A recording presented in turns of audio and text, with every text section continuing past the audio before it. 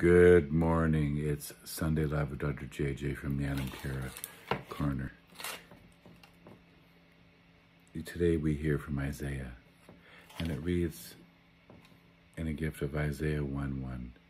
Wash yourselves, make yourselves clean, and remove the evil of your doings. From before my eyes, cease to do evil, learn to do good, seek justice, rescue the oppressed, defend the orphan, and plead for the widow. When we speak of the word rescue the oppressed, that's the word here and now. Rescue ourselves, rescue each other, rescue the gift of the here and now and today, and find the name of Isaiah means Yahweh has saved.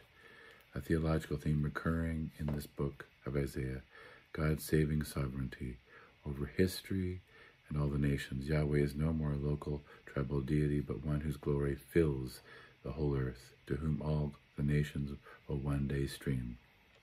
And he will judge between the nations in light of divine sovereignty over all the nations. Isaiah offers a vigorous critique of empires and their presumptions. History is not left to the power of empire. History is in God's hands. When we look to God breaking into history in the here and now, it's something we search for and discover. How do we see it right now? God, open our eyes to reach out our hand, extend the grip, and say yes, yes, yes.